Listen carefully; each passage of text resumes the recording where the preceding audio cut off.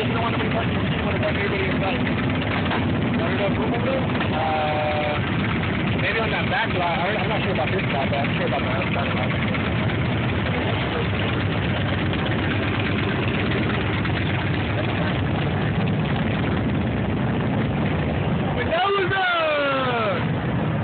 Mr. Mendoza?